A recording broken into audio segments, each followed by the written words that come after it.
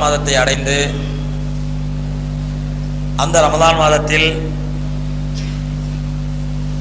அவனுடைய இபாதத்துகளை முழுமையாக நிறைவேற்றி அவனுடைய நெருக்கத்திற்கும் அருளுக்கும் பாத்தியதையானவர்களாக சொந்தப்பட்டவர்களாக ஆகக்கூடிய பாக்கியத்தை அல்லா ரபுல் ஆலமீன் நம் அனைவருக்கும் தந்தருள்வானாக என்று துவா செய்த வண்ணமாக எனது உரையை ஆரம்பம் செய்கின்றேன்.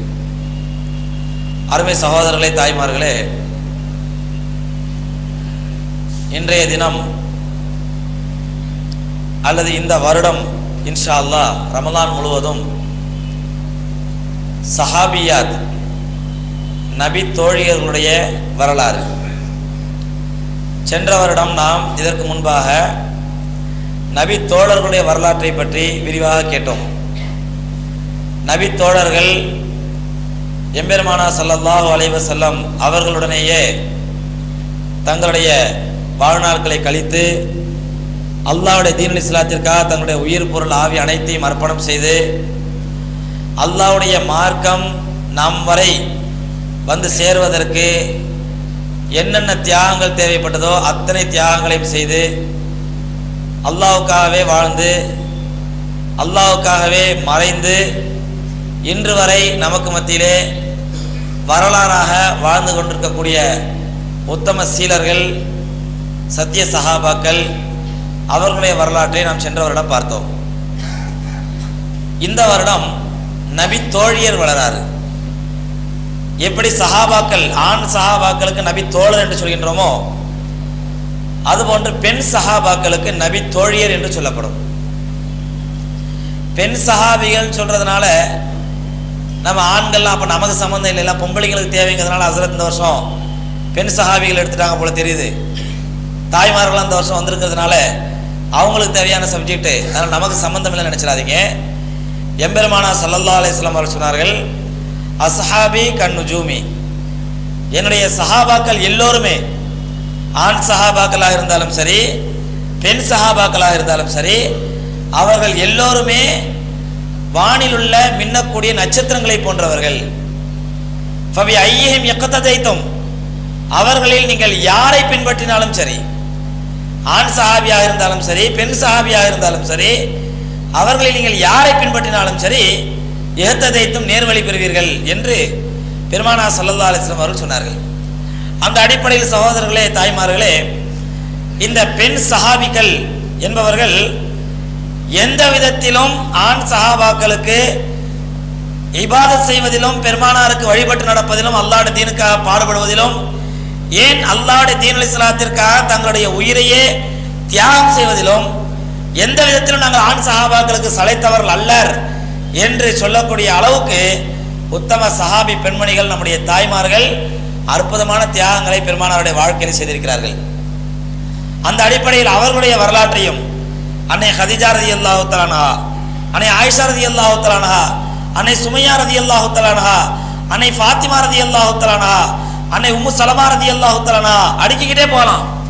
எத்தனையோ சஹாபி பெண்மணிகள் அவர்களுடைய வாழ்க்கையில் நடந்த அற்புதமான சம்பவங்களை சகோதரர்களே நாம் ஒவ்வொருவரும் நம்முடைய ஈமானுக்கு முன்மாதிரியாக நம்முடைய தக்குவாவுக்கு முன்மாதிரியாக நம்முடைய இறை அச்சத்திற்கு முன்மாதிரியாக அந்த உத்தம சஹாபி பெண்மணிகளை நாம் ஆக்கிக் கொள்வோமேனால் நிச்சயமா இன்ஷா அல்லா உலக வாழ்க்கையிலும் ரப்புல் நமக்கு ஈடேற்றத்தை தருவான். மறுமையிலும் இன்ஷா அல்லா நமக்கு மிகப்பெரிய வெற்றி காத்திருக்கிறது என்பதில் எந்த சந்தேகமும் இல்லை. அந்த அடிப்படையில் உத்தம சஹாபி பெண்மணிகள் அவர்கள் செய்த தியாகங்கள் அவர்களுடைய அமல்கள் அவர்களுடைய இபாதத்துடைய ஈடுபாடுகள் அவர்களுடைய ஈமானுடைய துடிப்புகள் இவற்றையெல்லாம் நாம் தெரிந்து கொள்வதற்காக வேண்டித்தான் இந்த சஹாபியாத் வரலாறு. அதான் நபி வரலாறு என்ற இந்த நிகழ்ச்சியை நாம் ஏற்பாடு செய்திருக்கின்றோம். அன்புக்குரிய சகோதரர்களை தாய்மார்களே வரலாற்றுடைய ஆரம்பம் சஹாபி பெண்மணிகளுடைய வரலாற்றுடைய ஆரம்பம் இன்ஷா அல்லாஹ் நாளைக்கு தான் இன்னைக்கு இல்லை. இன்று அந்த உத்தம சஹாபிகளுடைய முன்மாதிரி எந்தெந்த விஷயங்களிலே முன்மாதிரியாக இருந்தார்கள்? உதாரணமாக எடுத்துக்கிட்டோம் அப்படின்னு சொன்னா அல்லாவுடைய தீனல் இஸ்லாத்திற்காக அல்லாவுடைய பாதையிலே போராடி அல்லாட தீனுக்காக தங்களுடைய உயிரை அர்ப்பணம் செய்யக்கூடிய பாக்கியத்தை வாய்ப்பை ரபுல் ஆலமீன் ஆண்களுக்கு தான் வழங்கியிருக்கின்றார் ஏனென்றால் போர்க்களத்தில் ஈடுபடுவது ஜிஹாது செய்வது எதிரிகளை வெட்டுவது அதன் மூலமாக தங்களுடைய உயிரையும் தியாகம் செய்வது இந்த வாய்ப்பையும் பாக்கியத்தை ரபுல் ஆலமீன் கொடுத்திருப்பது ஆண்களுக்கு தான். பெண்களுக்கு இந்த வாய்ப்பு கிடையாது. அவங்க போர்க்களத்துக்கு போக வேண்டியதில்லை அவங்க ஜிஹாது அவங்களுக்கு கடமை இல்லை அவங்க போர்க்களத்தில் வாழத்தி போராட வேண்டிய அவசியம் இல்லை. இருந்தாலும் கூட அல்லாஹ் ரபுல் ஆலமீன் பெண் சஹாபிகள் மட்டுமல்ல பெண் இனத்தையே கௌரவப்படுத்துவதற்காக தாய்மார்களுடைய குலத்தை தாய் குலத்தையே கண்ணியப்படுத்துவதற்காக அல்லாஹ் ரபுல் ஆலமின் செய்த ஒரு மிகப்பெரிய காரியம் என்னவென்றால் இந்த அல்லாஹ்வுடைய தீனல் இஸ்லாத்திற்காக முதன் முதலாக சிந்திய ரத்தம் அல்லாஹ்வுடைய தீனல் இஸ்லாம் கியாமத் வரை நிலைநாட்டப்பட வேண்டும். அல்லாஹ்வுடைய தீனல் இஸ்லாம் கியாமத் வரை நிலை பெற வேண்டும் என்பதற்காக வேண்டி அல்லாஹ் ரபுல் ஆலமீன் முதல் முதலாக சிந்த வைத்த ரத்தம் ஒரு பெண்மணியின் ரத்தம் தான் ஒரு ஆண்மகன் ரத்தம் அல்ல ஒரு ஆண் சஹாபியின் ரத்தம் அல்ல ஒரு ஆண் முஸ்லீமுடைய ரத்தம் அல்ல. மாறாக ஒரு பெண் சஹாபியின் ரத்தத்தை தான் ரபுல் ஆலமீன் முதன் முதலாக பூமியிலே சிந்த வைத்தான். அன்னை சுமையா ரதியல்லாஹு தஆலா கர்ப்பிணி பெண்ணாக இருக்கின்றார்கள். ஈமான் கொண்டு விட்டார்கள். அபூஜகல் அன்னாரை களிமாவை விட்டுவிடும்படி ஈமானை விட்டுவிடும்படி வலியுறுத்துகின்றான் வற்புறுத்துகின்றான் நிர்பந்தப்படுத்துகின்றான் ஏசுகின்றான் பேசுகின்றான் அசிங்கமான வார்த்தைகளால் அர்ச்சிக்கின்றான். ஆனால் அன்னை சுமையா ரதியல்லாஹு தஆலா ஒரு ஏழை சஹாபி ஒரு ஏழை பெண்மணி இஸ்லாத்தை ஏற்றுக்கொண்ட இரண்டாவது பெண்மணி ஏழாவது சஹாபி. இஸ்லாத்தை ஏற்றுக்கொண்ட முதல் பெண்மணி அன்னை ஹதிஜா ரதி அல்லாஹுத்தலானா இரண்டாவது பெண்மணி அன்னை சுமையா ரதி அல்லாஹுத்தலானா ஏழாவது பெண்மணி அதான் ஆண்களோட எண்ணிக்கையும் சேர்த்தா ஹதரத் ஹதிஜா ரதி அல்லாஹுத்தலானா ஹதரத் அபுபக்கர் சித்திக் ஹதரத் அம் யாசர் ரதி அல்லாஹுத்தலானோ ஹதரத் அலி ரதி அல்லாஹுத்தலானோ ஹதரத் ஹப்பாப் ரதி அல்லாஹு வரிசையிலே அன்னை சுமையா ரதி அல்லாஹுத்தலானா இஸ்லாத்தை ஏற்றுக்கொண்ட ஏழாவது சாபி ஏழாவது மனிதர் என்ற அடிப்படையில் ஏழாவது பெண்மணி என்ற அடிப்படையில் இரண்டாவது பெண்மணி. ரொம்ப பெரிய பணக்காரெல்லாம் கிடையாது. ஒரு சின்ன ஏழை குடும்பம். யாசிர் ரதி அல்லாஹுத்தலானோ அவங்களுடைய மனைவி சுமையா ரதி அல்லாஹுத்தலானா அவங்களுடைய குழந்தை கை குழந்தை அம்மா ரதி அல்லாஹுத்தலானோ இந்த மூணு பேருமே இஸ்லாத்தை ஏற்றுக்கொள்கிறார்கள். குடும்பமே ஒரு ஏழை குடும்பம். அந்த ஏழை குடும்பம் அல்லாட தீனல் இஸ்லாத்தை ஏற்றுக்கொள்கிறது. எம்பெருமானா சல்லல்லா அலிஸ்லாம் அவர்களுக்கு பக்கத்துணையாக இருக்கின்றார்கள். இந்த நேரத்தில் அருமை சகோதரர்களை தாய்மார்களே அபூஜகல் மிரட்டுகின்றான் விரட்டுகின்றான் ஏசுகின்றான் பேசுகின்றான். ஆனால் அன்னை சுமையாரதி அல்லாஹுத்தானா தான் கொண்ட ஈமானை அவர்கள் விட்டுவிட தயாராக இல்லை ஒரு கட்டத்தில் என்ன ஆகுது அபுஜகல் அன்னை சுமையாரதி அல்லாஹுத்தலா ரோட்ல போயிட்டு இருக்கிறாங்க. அபுஜகல் திட்டுறான் இந்த ஏழை கிரிக்கிச்சிக்கு வந்த வாழ்வை பத்தியா? இவளுக்கு பிடிச்ச திமிர பத்தியா?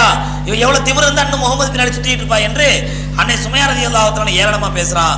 ஆனால் அன்னை சுமையாரதி அல்லாஹத்தான் அதை ஏறெடுத்து பார்க்கல காது கொடுத்து கேட்கல. அவங்க பாடு போயிட்டு இருக்கிறாங்க. திரும்பி வர்ற வழியிலே அபுஜகருக்கு அந்த ஆத்திரம் அடங்கலை. இஸ்லாத்தை ஏற்றுக்கொண்ட ஒரு ஏழை பெண்மணி தனக்கு முன்னால் தைரியமாக நடக்குவதை அல்லாவுடைய ஈமானுடைய உறுதியோடு நடப்பதை அபுஜகலால் தாங்கிக் கொள்ள முடியவில்லை. என்ன செஞ்சான்? கர்ப்பிணி பெண்மணி மூணு மாசமோ நாலு மாசமோ கர்ப்பமா இருக்கிறாங்க. அவருடைய மர்மஸ்தானத்திலே ஈட்டியால் குத்தி சகிதாக்கினான் அல்லாவுடைய தீனல் இஸ்லாத்திற்காக முதன் முதலாக சிந்திய ரத்தம் ஒரு பெண் சஹாபியின் ரத்தம் ஒரு பெண்மணியின் ரத்தம். அருமை சகோதரர்களே அந்த அடிப்படையில் நாம் அல்லாட தீனல் இஸ்லாத்தின்படி வாழ்கிறோம் என்றால் அந்த உத்தம சஹாபாக்கள் சிந்திய ரத்தம் தான் இன்று வரை நம்மை மூமியங்களாக ஆக்கி மூமியங்களாக நிலை நிறுத்தி கொண்டிருக்கிறது அல்லாட தீனல் இஸ்லாத்தை நிலை நிறுத்தி கொண்டிருக்கின்றது. அந்த அடிப்படையில் நாம் உத்தம சஹாபி பெண்களுடைய வரலாற்றை தெரிந்து கொள்ள கடமைப்பட்டுகிறோம். அதில் குறிப்பாக தாய்மார்கள் தாய்மார்கள் இந்த வரலாறுகளை அதிகமாக தெரிந்து கொள்ள அவர்கள் மெனக்கிட வேண்டும் சிரமப்பட வேண்டும் அதற்காக முயற்சி செய்ய வேண்டும். ஏனென்றால் அல்லாஹ் ரபுல் ஆலமீன் ஆண்களுக்கு எந்த அளவுக்கு பொறுப்புகளையும் கடமைகளையும் உரிமைகளையும் இஸ்லாத்தில் வழங்கியிருக்கின்றானோ அதே அளவுக்கு சரிசமமான கடமைகளையும் உரிமைகளையும் ரபுல் ஆலமீன் பெண்களுக்கு கொடுத்திருக்கின்றான் சொல்லப்போனால் பெண்களுடைய பொறுப்பு ஒருபடி மேலன்னு சொல்லலாம். ஆண்களுக்கு அல்லாஹ் கொடுத்த பொறுப்புகளை விட பெண்களுக்கு ரபுல் ஆலமீன் பொறுப்புகளை அதிகமாக கொடுத்துருக்கிறான்.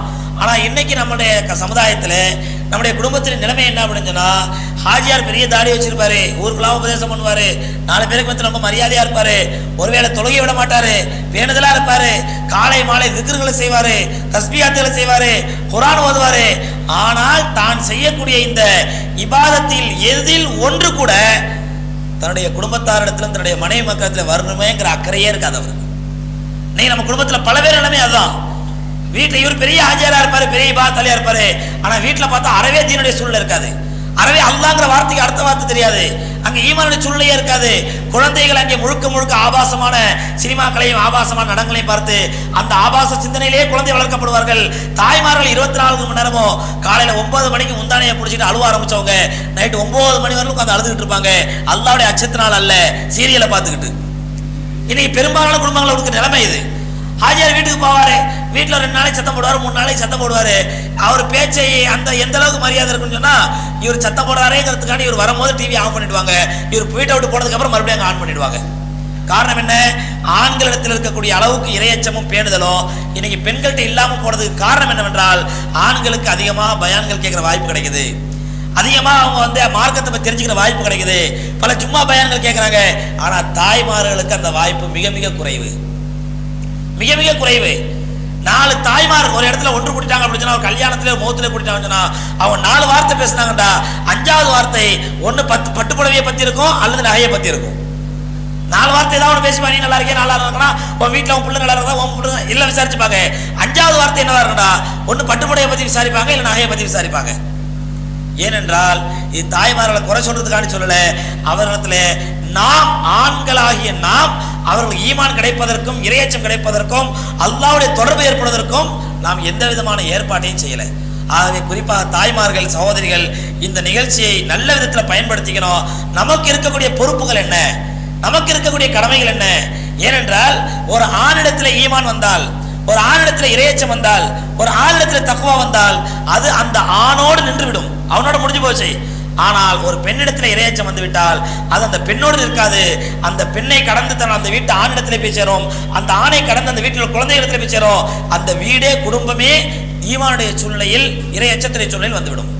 அதனால தான் நம்ம பெண்களுக்காக இந்த நிகழ்ச்சி ஏற்பாடு பண்ணியிருக்கிறோம். குறிப்பாக இந்த ரமதானிலே ஒவ்வொரு நாளைக்கும் ஒரு சஹாபி பெண்மணியுடைய வரலாறு. ஒவ்வொரு நாளைக்கும் ஒரு சஹாபி பெண்மணிய வரலாறு விதமாக முப்பது நாளைக்கு இன்ஷா அல்லாஹ் இருபத்தஞ்சு முப்பது சஹாபிகளுடைய வரலாறு இன்ஷா அல்லாஹ் நம்ம கேட்கலாம். சஹாபி பெண்மணியோட வரலாறு கேட்கலாம். முடிஞ்ச பிறகு ஒரு பதினஞ்சு நிமிஷம் அல்லது இருபது நிமிஷம் வெறும் தாய்மார்களுடைய சந்தேகங்களுக்கு மட்டும் பதிலளிக்கப்படும். தாய்மார்கள் நாளையிலேருந்து வரும்பொழுது அவங்க வீட்டிலேருந்து வரும்பொழுதே அவங்களுடைய சந்தேகங்கள் மார்க்க சம்பந்தமான என்னென்ன சந்தேகங்கள் இருக்குதோ அந்த சந்தேகங்களை சீட்டில் எழுதி கொண்டு வந்தாங்கன்னு சொன்னால் அதை அங்கே இருக்கக்கூடிய பெண் செக்யூரிட்டி மூலமாக இன்ஷால்லாம் வாங்கி அந்த கேள்விகளுக்கு தாய்மார்கள் கேள்விக்கு மட்டும்தான் தாய்மார்கள் பேரில் பாய்மார் யாரும் எழுதிடக்கூடாது கேள்வியை. ஏன்னா நம்ம பல தடவை கேள்வி கேட்குறோம் பல தடவை பதில் விளங்குறோம். குறிப்பாக ஒத்தப்படியான ராத்திரியில் ரெண்டு மணி நேரம் மூணு மணி நேரம் உங்களுக்கு பதில் சொல்கிறோம் நீங்கள் கேள்வி கேட்குறீங்க சந்தேகங்களை நிவர்த்தி பண்ணிக்கிறேன். தாய்மார்களுக்கு இந்த வாய்ப்பே இருக்கிறது இல்லை அதனால் தாய்மார்களுக்கு மட்டும்தான் இந்த வாய்ப்பு. தாய்மார்கள் மட்டும் தங்களுடைய கேள்விகளை கேட்கலாம் இன்ஷால்லா நாம் அதுக்காக ரஹ்மான் ரஹீம் அல்ஹம்துலில்லாஹி ரபில் ஆலமீன். வஸ்ஸலாத்து வஸ்ஸலாம் அலா சையதில் முர்சலீன். وعلى آله وأصحابه أجمعين أما بعد கண்ணியத்திற்குரிய சகோதரர்களே தாய்மார்களே எல்லாம் வல்ல அல்லாஹ் ரபுல் ஆலமினுடைய பேரருள் பெருங்கிருவையினால் எம்பெருமானார் ரசுலே கரீம் ஸல்லல்லாஹு அலைஹி வஸல்லம் அவர்களுடைய சன்னிதானத்தில் அன்னாருக்கு நெருக்கமாக இருந்து கண்மணி நாயகம் சல்லல்லாஹு அலைவசல்லம் அவர்களை கண்ணார கண்டு அவர்களுடைய வழிமுறைகளை போதனைகளை தங்களுடைய வாழ்க்கையின் அனைத்து அம்சங்களிலும் நிறைவேற்றி கியாமத்து நாள் வரையில் வரக்கூடிய இந்த உம்மத்தினருக்கு ஒரு முன்மாதிரியாக ஒரு நமூனாவாக அல்லாவால் தேர்ந்தெடுக்கப்பட்ட உத்தம சஹாபி பெண்மணிகளுடைய வரலாற்றை இன்றைய தினம் இன்ஷா அல்லா ஆரம்பிக்க இருக்கின்றோம் அருமை சகோதரர்களே தாய்மார்களே சஹாபி பெண்மணிகளுடைய வரலாற்றை நாம் எடுத்துக்கொள்வோமேனால் அதிலே முக்கியமான பங்கு பெற்ற ஒரு சஹாபி சஹாபியத் அவர்களுடைய வரலாற்றை இன்றைய தினம் பார்க்க போகிறோம். நேற்றைய தினம் நான் உங்களுக்கு சொன்னேன் அல்லாஹ்வுடைய தீனல் இஸ்லாத்தை கட்டி காப்பதற்காக அல்லாஹ்வுடைய இஸ்லாம் என்ற வார்த்தையை உலகத்தில் உயர்ந்தோங்க செய்வதற்காக முதன் முதலாக பூமியிலே ரச ரத்தம் சிந்தக்கூடிய ஒரு பாக்கியத்தை ரபுல் ஆலமீன் ஒரு பெண் சஹாபிக்குத்தான் கொடுத்தான் ஒரு ஆணுக்கு அந்த பாக்கியம் கிடைக்கவில்லை. அதே போன்று உலகத்திலே முதன் முதலாக எம்பெருமானா சல்லல்லா அலிஸ்லாம் அவர்கள் இந்த தீனல் இஸ்லாத்தை மக்களுக்கு மத்தியில் எடுத்து சொல்ல ஆரம்பித்தவுடன் லா இலா இல்லல்லா முகமது ரசூல்லா என்ற இந்த ஏகத்துவ களிமாவை மக்களுக்கு மத்தியிலே பிரச்சாரம் செய்ய ஆரம்பித்தவுடன் முதன் முதலாக பெருமானாருடைய பிரச்சாரத்தை நம்பி அவர்களுடைய மார்க்கத்திலே தன்னை இணைத்து கொண்டு ஈமான் கொண்ட பாக்கியமும் யாருக்கு கிடைத்ததென்றால் முதன் முதலாக அதுவும் ரபுல் ஆலமீன் ஒரு பெண் சஹாபிக்கு தான் கொடுத்தான். அவர்களுடைய வரலாற்றை தான் இன்றைக்கு நாம் பார்க்க இருக்கின்றோம். அது யாருங்க ஆ? ரதி அல்லானுவா ஹதிஜா ரதி அல்லாஹு தலான்ஹா ஏன்னா நம்ம பிரபலமான சஹாபி ஆயிஷா ரதி அல்லானு ஃபாத்திமா ரெண்டு பேரும் தான். அவங்களாம் சில பின்னாடி தான் அன்னை ஹதிஜா ரதி அல்லாஹு அவர்களுடைய வரலாற்றை இன்னைக்கு நம்ம பார்க்க இருக்கிறோம். இவங்களுக்கு கிடைச்ச ஒரு மிகப்பெரிய பாக்கியம் என்னவென்றால் முதன் முதலாக ஈமான் கொள்ளக்கூடிய பாக்கியம் கிடைச்சது. இதோட பெரிய பாக்கியம் என்னங்க வேணும்? ஏனென்றால் பெருமானா சல்லல்லா அலிஸ்லமுடைய வாக்குறுதியின்படி எந்த ஒரு நல்ல காரியத்தையும் யார் ஆரம்பம் செய்து வைக்கிறாரோ அதற்கு பின்னால் அடுத்தடுத்து யார் யாரால் எவ்வளோ பேர் அந்த காரியத்தை செய்வார்களோ அவர்கள் எல்லோருடைய நன்மைகளிலிருந்தும் அந்த முதல்ல ஆரம்பிச்சு வைக்கிறார் பாருங்க. அவருக்கு அல்லா ரபுல் ஆலமே அந்த நன்மையை கொடுப்பான். நபிசுல்லாலும் சொல்றாங்க. அதே மாதிரி தீமையா இருந்தாலும் சரி யார் ஒரு தீமையை முதல்ல ஆரம்பிச்சு வைக்கிறாரோ அவருக்கு பின்னால் வரக்கூடிய எத்தனை பேர் அந்த தீமையை செய்வார்களோ அந்த எல்லாருடைய பங்கிலிருந்து முதல்ல தீமையை ஆரம்பிச்சு வச்சாரு பாருங்க அவருக்கு அந்த பாவம் வந்துகிட்டே இருக்கும். அந்த அடிப்படையில் ரசூலுல்லாஹி ஸல்லல்லாஹு காலத்திலேருந்து காலத்திலிருந்து இதுவரை கோடானு கோடிக்கணக்கான முஸ்லிம்கள் இனி கியாமத்து நாள் வரை இன்ஷா அல்லாஹ் வர இருக்கின்ற கோடானு கோடிக்கணக்கான முஸ்லிம்கள் அவர்கள் செய்யக்கூடிய அமல்கள் அவர்கள் செய்யக்கூடிய இபாதத்துகள் அவர்கள் கொண்ட ஈமான் அவர்களுடைய தக்குவா அவர்களுடைய இரையச்சம் இது எல்லாத்துலேருந்து ஒரு பங்கு யாருக்கு போய்கிட்டு இருக்கோம்? யாருங்க யார் முதன் முதலாக இஸ்லாத்தை ஏற்றுக்கொண்டார்களோ அவர்களுக்கு. யார் முதன் முதலாக ஈமான் கொண்டார்களோ அவர்களுக்கு. அந்த பாக்கியத்தை அல்லாஹ் யாருக்கு வழங்கினான்? அன்னை ஹதிஜா ரதி தஆலாவுக்கு வழங்கினான். அருமை சகோதரர்களை தாய்மார்களே அந்த ஹஜாரதி ரதியல்லாஹு அவருடைய தந்தை பெயர் ஹுவைலித் என்பவர். இந்த ஹுவைலித் இவர் யார் அப்படின்னு சொன்னால் இவர் மக்காவாசி அல்ல மக்காவில் பிறந்தவர் அல்ல. மற்ற யமன் தேசத்திலிருந்து மக்காவில் பிழைப்புக்காண்டி வந்தவர் இந்த ஹுவைலிது. பொழப்ப தேடி மக்காவுக்கு வந்தார் ஹுவைலிதுங்கிறவர். மக்காவுக்கு வந்த இடத்துல அந்த ஊரில் ஃபாத்திமா பின்த் ஜாயிதா என்ற ஒரு நல்ல ஒரு கௌரவமான குடும்பத்தை சேர்ந்த ஒரு பெண்மணியை இந்த ஹோயிலிருந்து கல்யாணம் பண்ணிக்கிறாரு. யாருங்க? ஃபாத்திமா பின் ஜாயிதா என்ற ஒரு பெண்மணியை இந்த ஹுவைலித் கல்யாணம் பண்ணிக்கிறாரு. இந்த ஹுவைலிதுக்கும் ஃபாத்திமா என்ற பெண்மணிக்கும் பிறந்த புனிதமான பெண்மணி தான் யாரு? அனே ஹலிதா ஹதிஜா ரதி அல்லாஹு அவர்கள். இவங்க இளம் வயசுலேயே ரொம்ப பரிசுத்தமான குணம் எல்லார் மேலேயும் ரொம்ப இறக்க குணம் எல்லாருக்கும் வாரி வழங்கணுங்கிற சிந்தனை அதே மாதிரி நல்ல பேச்சு நல்ல அகலாக்கு இதையெல்லாம் பார்த்து அவர்கள் கூட பழகக்கூடிய தோழிகள் எல்லாம் அன்னை ஹரிஜாரதி அல்லாஹுத்தலானுக்கு வச்ச பட்ட பேர் என்ன அப்படின்னு சொன்னா தாஹிரா பரிசுத்தமானவள் அப்படின்னு பட்ட பேர் வச்சாங்க.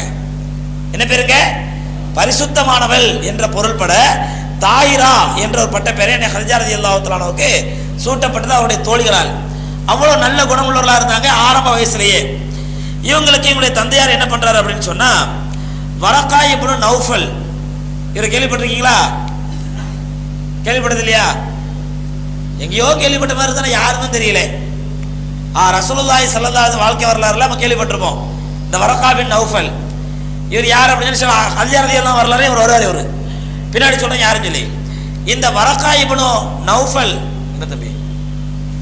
இப்னு நௌஃபல் என்பவர் ஹதிஜா ரதி அல்லாஹுத்தலானாவுக்கு ஒன்று விட்ட சகோதரர். அதாவது சின்ன மாமாங்களோ பெரிய தம்மா பெரிய மாமாவாலோ அந்த வரக்கா பின் தன்னுடைய மகளுக்கு திருமணம் பண்ணி வைக்கணும்னு யார் ஆசைப்படுறா? ஹுவைலித் ஆசைப்படுறாரு. ஏன்னு சொன்னால் இந்த வரக்கா வந்து ஒரு பெரிய ஆலிமா இருந்தார். இவர் ஒரு கிறிஸ்தவ ஆலிமா இருந்தார் கிறிஸ்தவ பாதிரியாக இருந்தார் யூத மதத்தை கரைச்சி குடிச்சிருந்தாரு நல்ல ஒரு பேணுதலான மனுஷனாவும் இருந்தார். அப்போ அவருடைய பேணுதல் அவருடைய அந்த மார்க்க கல்வி அவருடைய ஆன்மீக ஈடுபாடு இது எல்லாம் பார்த்துட்டு இந்த ஹுவைலித் என்ன பண்ணார்? ஹுவைலித் ஊர்லேயே பெரிய செல்வ சீமான். கோயில் ஊர்ல யாருங்க? பெரிய செல்வ சீமானா இருந்தவர். ஊர்ல நாலு நாலு பேருக்கு வந்து மரியாதையான ஆளு. அவர் என்ன பண்றாரா? தன்னுடைய மகளுடைய நல்ல குணத்திற்கும் நல்ல ஒழுக்கத்திற்கும் பொருத்தமான ஆள் யாரு தான் இந்த வரக்கா தான் நல்ல ஆன்மீக ஈடுபாடு நல்ல மார்க்கம் படிச்சிருக்கிறாரு நல்ல தௌராத் வேதம் இஞ்சில் இதெல்லாம் படிச்சிருக்காரு அப்படின்னு சொல்லி அந்த ஊர்ல பெரிய செல்வ சீமான் தன்னுடைய மகளை அந்த வரக்காவுக்கு கல்யாணம் பண்ண ஆசைப்படுறாரு. சொல்ல விளைவிச்சுங்களா இது எப்பங்க ரசோலா வந்த பிறகு ரசோலாவுக்கு முன்னாடியா? நபிசுல்லா முன்னாடி. ரசூலுல்லா இஸ்லாத்துக்கு முன்னாடி நடக்கிற சம்பவம்.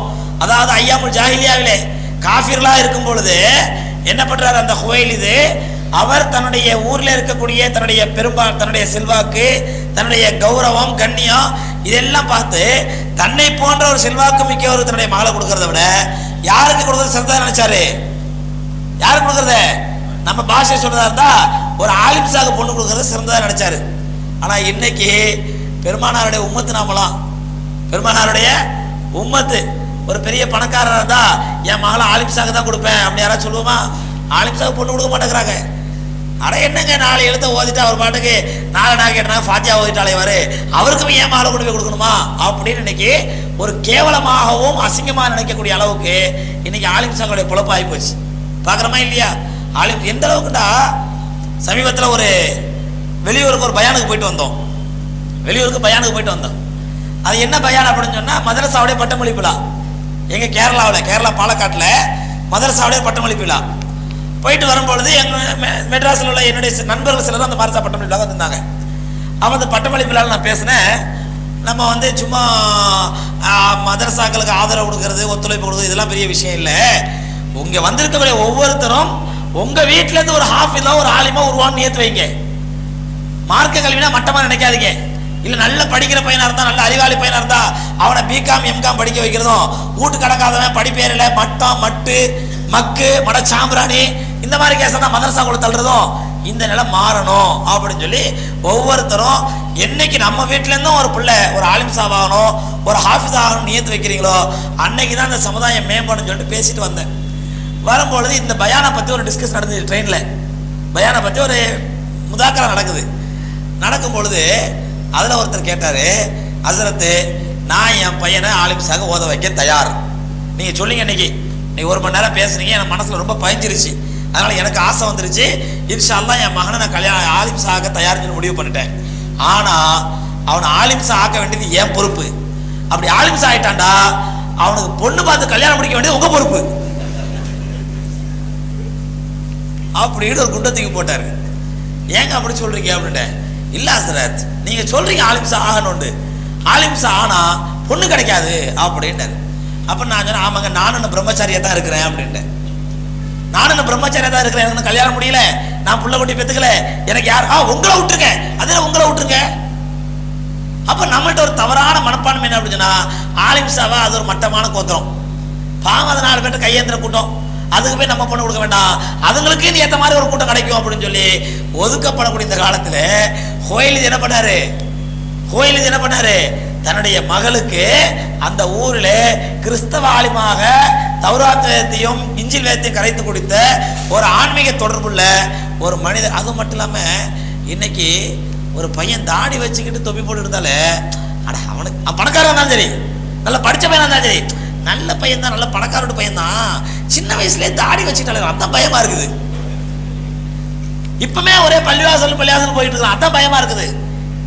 அப்ப கொஞ்சம் ஆன்மீக ஈடுபாடு இருந்தாலே அவனுக்கு என்ன பண்ற? சில பேர் பெற்றோர்களே நீ இந்த வயசுல தாடியில் வைக்காத. உனக்கு பொண்ணு கிடைக்காது. தாடி வச்சா பொண்ணு தர மாட்டாங்களாம் இப்படி நாம என்ன பண்றோம்? இஸ்லாத்துடைய கலாச்சாரத்தையும் இஸ்லாத்தினுடைய அங்க அடையாளங்களையும் எம்பெருமானா சல்லல்லாஹு சுண்ணத்துகளையும் நாமே கேவலப்படுத்தக்கூடிய இந்த காலகட்டத்தில்.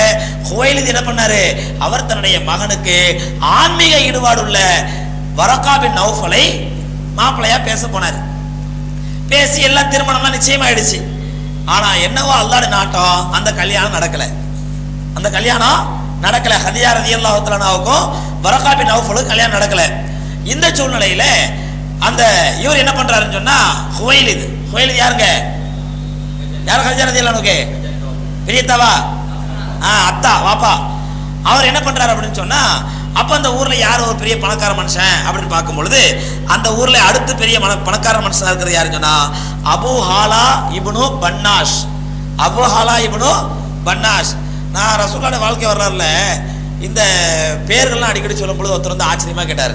ஏன் சார் நீங்க சொல்றீங்களா இந்த பேரு இதெல்லாம் எங்களுக்கு காதலே நுழைய மாட்டேங்குது. உங்களுக்கு எப்படி வாயில நுழையுது? ஒரு கேள்வி கேட்டாரு. நீங்க ஏதோ பேர் பேர்லாம் சொல்லிட்டு போறீங்க. இந்த பேர்லாம் எங்க காதலே நுழைய மாட்டேங்குது கேட்கறதுக்கு உங்களையும் இப்படி வாயில் நுழையுது அப்படின்ட்டாரு அப்போ நான் அந்த பேரை வந்து வாழைப்பழத்தோட சேர்த்து நுழைப்பேன் ஈஸியாக நுழைஞ்சிரும் அப்படின்னு எதுக்குன்னு சொன்னால் அது ஒன்றா நான் கேட்டுக்கங்க. இதை வந்து நீங்கள் மனப்பாடம் பண்ணி ஆகணும். உங்கள் மனசில் பயிற்சி வைக்கணும் அவசியம் கிடையாது.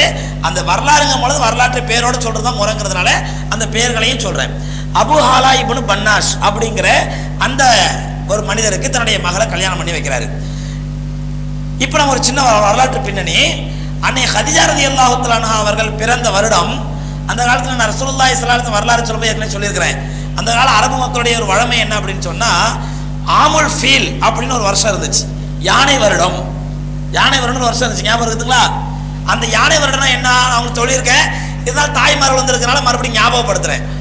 யானை வருஷம்னா என்ன அப்படின்னு சொன்னால் அலந்தர கைஃப ஃபால ரப்புக்கள் அல்லாஹ் சொல்கிறான் பாருங்க. அதாவது அல்லா ரபுல் ஆலமீன் அப்ரஹா என்ற ஒரு மன்னன் யானை கூட்டத்தோட காபத்துலாவை அழிக்க வர்றான். காபத்துலா இடிச்சு கூட்டு தள்ளுறதுக்காண்டி வர்றான். அப்ப அந்த நேரத்தில் அல்லா ரபுல் ஆலமீன் அந்த அப்ரஹாவுடைய யானைப்படையை அழிப்பதற்கு அல்லாஹ் என்ன பண்ணா சின்ன சிட்டுக்குருவி கூட்டத்தை அனுப்பி அதனுடைய அந்த சொண்டுல சின்ன சின்ன கற்களை வைத்து அந்த கற்களை வைத்து எரிந்து அல்லா ரபுல் ஆலமீன் அந்த யானைப்படையை அழிச்சான். இது அல்லா ரபுல் ஆலமீன் எதுல சொல்றான்? அலம் தர கைஃப சொல்றான். அந்த வரலாறு சம்பவம் அரபு மக்களுக்கு மத்தியில் ரொம்ப பிரபலமாயிடுச்சு. ஒரு ஆச்சரியமான சம்பவம் தானே? ஒரு சின்ன சிட்டுக்குருவி கல்லெறிஞ்சு ஒரு யானை படையே அழிஞ்சு போகுது அப்படின்னு சொன்னா உண்மையிலே பெரிய ஆச்சரியப்பட்ட ஆச்சரியப்பட வேண்டிய செய்தி அந்த சம்பவம் நிகழ்ந்த வருடம் என்ன ஆயிடுச்சு அப்படின்னு சொன்னா யானை வருடம் ஆமுல் ஃபீல் அப்படின்னு சொல்லி அரபு மக்களுக்கு மத்தியில் ஃபேமஸ் ஆயிடுச்சு. எந்த அளவுக்கு ஃபேமஸ் ஆயிடுச்சு அப்படின்னு சொன்னா அதுக்கு அப்புறம் நடந்த சம்பவமா இருந்தாலும் சரி இப்போ அதுக்கு பிறகு நடந்த சம்பவமா இருந்தாலும் சரி அந்த யானை வருடத்தோட இணைச்சுதான் அதுக்கு முன்னாடி பின்னாடி பேச ஆரம்பிச்சாங்க. உதாரணமா இப்போ நம்ம சொல்றோம் இவன் எந்த வருஷம் பிறந்தான்? காமராஜர் செத்தார்ல அந்த வருஷம். பெண்கள் கேள்விப்பட்டீங்களா இன்னைக்கு டேட் இன்னைக்கு டேட்டா பர்த்லாம் குறிச்சு வச்சாங்க ஆஸ்பத்திரியில? இல்லைன்னா இப்படி சொல்லுவாங்க. மகாத்மா காந்தி செத்தார் இல்லையா? அப்பதான் என் பிள்ளைச்சம் பிறந்தான் அப்படிங்குவாங்க. அப்ப மகாத்மா காந்தி சுடப்பட்ட அந்த தினம் ஒரு வரலாற்று நாள். அதை வச்சு என்ன பண்ணுவாங்க? அதுக்கு முந்தின வருஷம் பிறந்தாலும் பிந்தின வருஷம் பிறந்தாலும் அந்த வருஷம் பிறந்தா அதுக்கு முன்னாடி பிறந்தா பின்னாடி பிறந்தா சொல்றது வழமை. அதே மாதிரி அதைத்தான் கிறிஸ்தவர்கள் எப்படி பயன்படுத்திக்கிட்டாங்கண்டா? பிரிட்டிஷ்காரங்களுடைய ஆட்சி உலகம் ஃபுல்லாக ஆட்சி நடந்துச்சு இல்லையா? The sun have not sets in British எம்பையர்னு சொல்லுவாங்க ஆங்கிலத்தில் வரலாறுல. அதாவது ஆங்கிலேய பேரரசில் சூரியன் மறையாதுன்னு சொல்லி. அந்த அளவுக்கு உலகம் முழுவதும் ஆங்கில பேரரசு இருந்ததுனால அதை பயன்படுத்திக்கிட்டு இந்த கிறிஸ்தவர்கள் என்ன பண்ணாங்க அப்படின்னு சொன்னா வருடத்தை கணிப்பதற்கு ஏதோ ஒரு முக்கியமான காரணமா வச்சுட்டாங்க. எதுங்க கிறிஸ்தவனுடைய பிறப்பை. கிறிஸ்தவனுடைய பிறப்பை முக்கியமான வரலாறு. அவங்க தான் ஆட்சி பண்ணாங்க. உலகம் பூரா அவங்க ஆட்சி பண்ணதுனால எல்லா ஊர்களிலும் அவங்களுடைய ட- கலாச்சாரத்தை திரித்தார்கள் அப்பதான் என்ன பண்ணாங்க? கிமு கிபி கிறிஸ்து பிறப்பதற்கு முன் கிறிஸ்து பிறப்பதற்கு பின் சொல்லி ஒரு வரலாற்று சம்பவத்தை அடிப்படையாக வச்சு அதை வச்சு வருஷத்தை கிடைச்சாங்க அந்த மாதிரி அரபு மக்கள் இந்த யானை வருடத்தை அடிப்படையாக வச்சு யானை வருடத்துக்கு முன்னாடி யானை வருடத்துக்கு பின்னாடின்னு சொல்லி கணக்கு நிர்ணயிச்சாங்க. அந்த அடிப்படையில் அன்னை ஹதிஜா ரலியல்லாஹு அன்ஹா அவர்கள் பிறந்தது யானை வருடத்திற்கு பதினஞ்சு வருஷத்துக்கு முன்னாடி. யானை வருஷத்துக்கு பதினஞ்சு வருஷத்துக்கு பின்ன பின்ன முன்னாடி பிறந்தாங்க. ரசூல்லா இஸ்லாம் பிறந்தது எப்போ தெரியுமா? ஞாபகம் இருக்கா? யானை வருடத்திற்கு அடுத்த வருஷம். யானை வருடம் நடந்து அடுத்த வருஷம் நபிசுல்லாஹு பிறந்தாங்க. ஹதிஜா ரலியல்லாஹு யானை வருஷத்துக்கு பதினஞ்சு வருஷம் முன்னாடி பிறந்தாங்க. அவர் ரெண்டு பேரும் எத்தனை வயசு வித்தியாசம் கிட்டத்தட்ட? பதினஞ்சு பதினாறு வயசு வித்தியாசம். கிட்டத்தட்ட பதினஞ்சு பதினாறு வயசு வித்தியாசம். இந்த அம்மாவுக்கு இருபது வயசுல அவங்களுடைய தகப்பனார் கல்யாணம் பண்ணி வைக்கிறாரு இருபது வயசுல அவனுடைய தகப்பனார் கல்யாணம் பண்ணி வைக்கிறாரு. இந்த சூழ்நிலையில அந்த அபு ஹாலாவுக்கும் அன்னை ஹதிஜா ரதி அல்லாஹுத்தலானுக்கும் மத்தியில ரெண்டு பிள்ளைகள் பிறக்கிறாங்க. ஒரு பிள்ளை பேர் ஹாலா இன்னொரு பிள்ளை பேர் ஹிந்து. ரெண்டு ஆம்பளை பிள்ளை பிறகுது கொஞ்ச நாள்லயே இந்த அபு ஹாலா மூத்தா போயிடுறாரு. அபு ஹாலா சின்ன வயசுலயே மூத்தா போயிடுறாரு. மூத்தா போன உடனே ஹுவைலித் என்ன செய்கிறாருன்னு சொன்னால் தன்னுடைய மகளுக்கு தன்னுடைய விதவையான இளம் மகளுக்கு ரெண்டாவது கல்யாணம் பண்ணி ஆசைப்பட்டு ரெண்டாவது கல்யாணம் என்ன பண்றான்னு சொன்னா அத்தியக் இப்னு ஆபித் அத்தியக் இப்னு ஆபித் என்ற ஒரு மனிதரை ரெண்டாவது கல்யாணம் பண்ணிக்கிறாரு. அந்த ரெண்டாவது கல்யாணம் செஞ்ச அந்த கணவருக்கு அன்னை ஹரிஜாரதி அல்லாஹுத்தலானாவுக்கும் ஒரே ஒரு பொம்பளை பிள்ளை பேருது அந்த பொம்பளை பிள்ளை பேர் ஹிந்தா. ஹிந்தான்னு பேரை வைக்கிறாங்க அந்த ரெண்டாவது பொம்பளை பிள்ளைக்கு ரெண்டாவது கணவனுக்கு பிறந்த பொம்பளை பிள்ளைக்கு. இப்படி அவங்களுடைய வாழ்க்கை இரண்டாவது கணவனோடு ஓடிக்கிட்டு இருக்கும் பொழுது திடீரென்று அவங்களுடைய இரண்டாவது கணவன் அத்தியக்கைப்பன் ஆபிதும் மூத்தா பெற்றார் இறந்துறாரு. இந்த சூழ்நிலையில விதவையா இருந்து தன்னுடைய மூணு குழந்தைகளை பராமரிச்சிருக்க நேரத்துல அவங்களுடைய தாப்பனர் ஹுவைல் இது அன்னை ஹரிஜாரதி அல்லாஹத்துல ரொம்ப பாசமா தன்னுடைய இளம் பெண்ணு இளம் மகள் ரெண்டு தடவை விதவையாயிடுச்சு. ஆனால் ரொம்ப பாசமா இருந்துட்டு இருக்காரு. அந்த நேரத்தில் அரபு மக்களுக்கு மத்தியிலே மக்காவிலே ஒரு மிகப்பெரிய போர் நடக்குது. மிகப்பெரிய போர் நடக்குது. அந்த போருக்கு பேரு ஹர்புல் ஃபுஜார் அந்த போருக்கு பேரு ஹர்புல் ஃபுஜார் நான் ஏற்கனவே உங்களுக்கு சொல்லியிருக்கேன் ரசூலுல்லாஹி வாழ்க்கை வரலாறு சொல்லியிருக்கிறேன். அரபு மக்களுக்கு மத்தியிலே போர் நடப்பது என்பது ரொம்ப சர்வசாதாரணம். அடிக்கடி போர் நடக்கும். திடீர்னு போர் நடக்கும். வருஷக்கணக்கில் போர் நடக்கும். அப்ப போர் நடப்பது என்பது அவங்களுக்கு மத்தியில் ரொம்ப சர்வசாதாரணமான விஷயம். அந்த அடிப்படையில் இந்த ஹர்புல் ஃபுஜார்னு ஒரு போர் நடக்கும் பொழுது அந்த போர்ல அந்த போர்ல இந்த ஹுவைலி யார் ஹஜா ரதி அல்லாஹனுடைய தாப்பனார் இது கொல்லப்படுகிறார். அவரும் மூத்தா போயிட்டாரு. தா கணவனும் இறந்து ரெண்டு கணவரும் போயிட்டா போயிட்டாரு. தன்னுடைய தந்தையும் அந்த போரில் கொல்லப்படுறாரு. இதனால ஹதிஜா ரதி கடுமையான வேதனை அடைகிறாங்க. தனக்கு தாப்பனும் இல்லை தந்தை கணவனும் இல்லை. நான் விதவையாக போயிட்டோம். ரெண்டு மூணு குழந்தைங்க. இந்த குழந்தைகளை வச்சுட்டு பராமரிச்சுட்டு எப்படி வாழ்க்கையை ஓட்டுறதுன்னு அவங்களுடைய நினைக்கும் பொழுது தான் தகப்பனாருடைய வியாபாரி தகப்பனார் பெரிய வியாபாரி வெளிநாட்டு வியாபாரி இம்போர்ட் எக்ஸ்போர்ட் பண்ணுறவர் அந்த தகப்பனாருடைய வியாபாரத்தை அன்னை ஹதியா ரதி கவனிக்க ஆரம்பிக்கிறாங்க. அவங்க கவனிக்க ஆரம்பிக்கிறாங்க. கவனிக்க ஆரம்பித்த உடனே அந்த வியாபாரத்திலே முழு ஈடுபாடு காட்டி அதே நேரத்தில் பிள்ளைகளையும் பராமரித்து அவங்களுக்கு மூணாவது கல்யாணம் பண்ணணும்னு ஆசையே இல்லை. ரெண்டு கணவன் ரெண்டு தடவை கணவன் மூத்தா போயிட்டாரு. அவ இனி பிள்ளைகளை வச்சு நம்ம வாழ்க்கையை ஓட்டுவோம். நம்ம வந்து நம்ம தாப்பனாவோட வியாபாரத்தை முழுமையாக கவனிக்கலாம் அப்படின்னு சொல்லி வியாபாரத்துக்கு என்ன பண்ணணும் முதாரபா சிஸ்டம்னு சொல்லுவாங்க அரபியில் முதாரபானா என்ன அப்படின்னு சொன்னால் பங்கு வியாபாரம். அந்த அம்மா முதலீடு போடுவாங்க. அந்த அம்மா முதலீடு போடுவாங்க. யாராவது ஒரு ஆம்பளை என்ன பண்ணுவாரு? அந்த பணத்தை முதலீடு போட்ட அந்த பொருளை பூரா எடுத்துக்கிட்டு ஷாம் தேசத்துக்கு சிரியா தேசத்துக்கு போவாங்க வியாபாரத்துக்கு. போய் அவர் என்ன பண்ணார்? வியாபாரம் பண்ணி இதை விற்பாரு இன்னொரு பொருளை வாங்குவார் அதை விற்பாரு இன்னொரு பொருளை வாங்குவார். வாங்கி மறுபடியும் மக்காவுக்கு வந்து கிடைக்கிற லாபத்தில் என்ன பண்ணால் பங்கு எடுத்துப்பாங்க. இன்வெஸ்ட்மெண்ட் பண்ணவருக்கு ஒரு பங்கு உழைச்சவருக்கு ஒரு பங்கு அப்படின்னு சொல்லி எடுத்துப்பாங்க. இன்னைக்கு இந்த வியாபாரம் இருக்குது அப்படிதானே? இல்லையா? வெளிநாட்டு வியாபாரத்தில் குருவிங்கிறாங்களே. கேள்விப்பட்டீங்களா குருவி கொக்கு அதெல்லாம் இப்போ சிறகு ஒடிஞ்சு போச்சு பாவம். குருவி கோக்கெல்லாம் சிறகு ஒடிஞ்சு போய் கிடக்குது. பா அல்லா நான் மறுபடியும் சிறகை கொடுக்கட்டும்.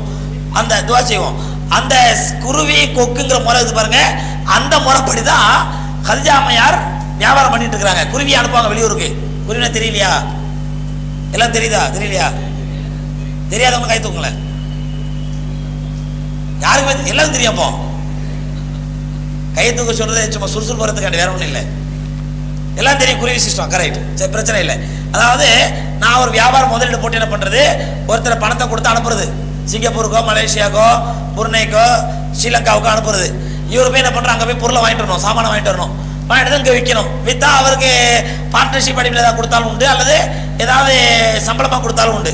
இதுதான் குறுகிய முறை இது அந்த காலத்திலே இருக்குது. இந்த முறைப்படி அன்னைய ஹதிஜா ரதி அல்லாஹுத்தல என்ன பண்ணுறாங்க நிறைய வியாபாரிகள் வச்சுருக்குறாங்க அவங்க வச்சு அவங்க வந்து வியாபாரம் பண்ண பண்ண பெரிய செல்வ சீமாட்டி ஆயிடுறாங்க.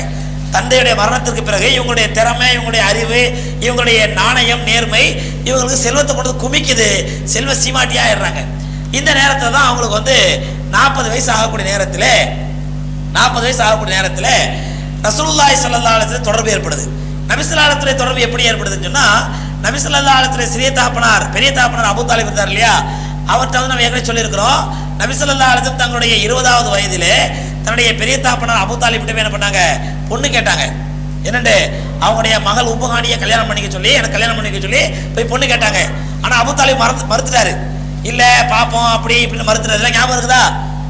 ஞாபகம் இருக்குதா? ரசூல்லா இஸ்லாம் வாழ்க்கை வரலாறு ரெண்டு மூணு வருஷத்துக்கு முன்னாடி சொல்லியிருப்பேன். அப்போ அந்த மறுத்ததுக்கு காரணம் என்ன அப்படின்னு சொன்னா ரசூல்லா இஸ்லாத்துக்கு ஒரு பெர்மனன்ட் ஜாப் எதுவும் இல்லை அப்போ. நீ நம்ம சொல்றோம்ல மாப்பிள்ளைக்கு பெர்மனன்ட் ஜாப் ஒன்றும் இல்லை. ஏதோ படிச்சிருக்காரு வேலை செஞ்சிருக்காரு இருக்காரு போயிட்டு இருக்காராம் ஒரு பெர்மனன்ட் சோர்ஸ் இல்லை அப்படின்னுவோம். அல்லது சொல்லுவா சொல்லுவோம் பரவாயில்ல பெர்மனன்ட் சோர்ஸ் இல்லாட்டாலும் அவங்க அத்தா பெரிய பிசினஸ் பண்ண அது மாப்பிள்ளைக்கு வச்சு கொடுத்துருவாரு. இப்படிலாம் பாக்குறோம் இல்லையா? ஆனா அந்த எந்த சோர்ஸுமே நபிசுல்லாலத்துக்கு இல்லை பாவம். அத்தா மூத்தா போயிட்டாரு அனாதை. அம்மா சின்ன வயசுல மூத்தா போயிட்டாங்க. ஆடு மாடு மேய்ச்சி வாழ்க்கை ஓட்டிக்கிட்டு இருந்தாங்க. இந்த சூழ்நிலையில பெரிய தாப்பனாட்ட போய் அபுதாலி விட்டு போய் அவங்களுடைய மகள் உம்மஹானியை கல்யாணம் பண்ணி கேட்ட உடனே அவர் மறுத்துட்டாரு. அவர் அழகா நாசுக்கா மறுத்துறாரு. இவருக்கு பாவம் எந்தமான பேக்ரவுண்டும் சரியா இல்லை. அதான் வெல்த்தி பேக்ரவுண்ட் இல்லை. இவரும் சொந்தமான பிஸ்னஸ் இல்லை. எப்படி கொடுக்க சொல்லி அவாய்ட் பண்ணிடுறாரு. இது நபிசுல்லாலத்துக்கு கடுமையான வருத்தத்தை ஏற்படுத்திடுது அந்த நேரத்தில் தான் அபு தாலிப் என்ன பண்ணுறாரு அப்படின்னு சொன்னால் நபிசுல்லாலத்தில் சொல்கிறாரு இப்படியே எவ்வளோ நாளைக்கு ஆடு மாடு மேய்ச்சிக்கிட்டு இருப்பேன் அந்த ஹதிஜா மையான்னு சொல்லி ஒரு கொக்கு இருக்காங்க.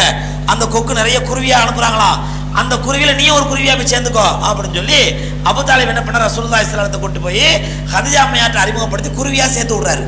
யார? நபிசுல்லாலத்தை சேர்த்து விட்டோன்னா அப்பதான் ரசூலுல்லாஹி ஸல்லல்லாஹு அலைஹி முதல் முதல்ல வெளிநாட்டு பிரயாணம் பண்றாங்க. சிரியா தேசத்திற்கு ஹதிஜாமையாருடைய அம்மையாருடைய செல்வத்தை பூரா வாங்கிட்டு போறாங்க. என்ன அக்ரிமெண்ட் அப்படின்னு சொன்னா வர்ற லாபத்துல ஆளுக்கு பாதி நபிசல்லாத்துக்கு பாதி ஹதிஜாமையாருக்கு பாதி அப்படிங்கிற அக்ரிமெண்ட் பேர்ல ரசூலுல்லாஹி ஸல்லல்லாஹு போறாங்க. அப்ப ஹதிஜா அம்மையார் பாக்குறாங்க நபிசல்லா அலிஸ்லாம் வந்து அப்பதான் புதுசா போறாங்க வெளிநாட்டுக்கு. புது வியாபாரி.